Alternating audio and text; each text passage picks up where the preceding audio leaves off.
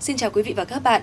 Đêm nay miền Bắc mưa giảm dần và chuyển nắng oi trong ngày mai, còn Trung Bộ thì nắng nóng vẫn còn đang kéo dài và duy trì trên diện rộng.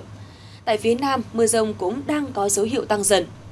Sở dĩ thời tiết ba vùng miền khác nhau là do ba vùng đang chịu tác động của các hình thái thời tiết khác nhau chi phối. Ở miền Bắc, rãnh áp thấp suy yếu, trong khi vùng xoáy thấp cũng không còn hoạt động mạnh nên mưa sẽ giảm nhanh. Còn ở miền Trung, rãnh thấp suy yếu cũng khiến cho hiệu ứng phơn gia tăng, khiến nắng nóng tăng dần và mở rộng hơn. Còn ở miền Nam thì mưa rông tăng dần là do gió mùa Tây Nam đang hoạt động mạnh dần lên. Cụ thể ngày mai hầu khắp Bắc Bộ đều tạnh giáo có nắng, nền nhiệt trên toàn khu vực đồng loạt tăng thêm. Khu vực Trung Du và vùng núi Bắc Bộ mức nhiệt độ trưa chiều từ 31 đến 33 độ. Khu vực đồng bằng trong đó có thủ đô Hà Nội nhiệt độ cao 33-34 độ. Với Trung Bộ, hiệu ứng phơn cuối mùa khiến ngày mai suốt một dọc miền Trung, từ Thanh Hóa trở vào cho tới tận Khánh Hòa đều xảy ra nắng nóng với mức nhiệt độ cao 35 đến 37 độ.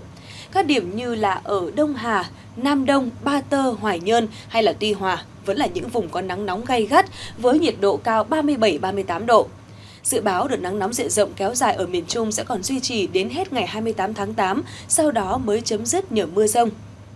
Ở phía Nam, mưa rông dù tăng hơn nhưng thời gian mưa thì vẫn tập trung về chiều và tối.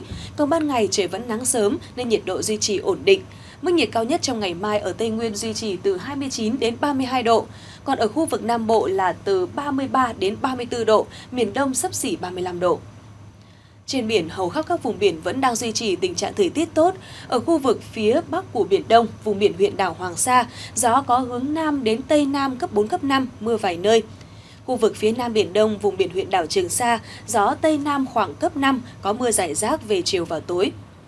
Và tin thời tiết tổng hợp ngày 25 tháng 8 xin được khép lại tại đây. Cảm ơn quý vị đã quan tâm theo dõi. Xin kính chào và hẹn gặp lại.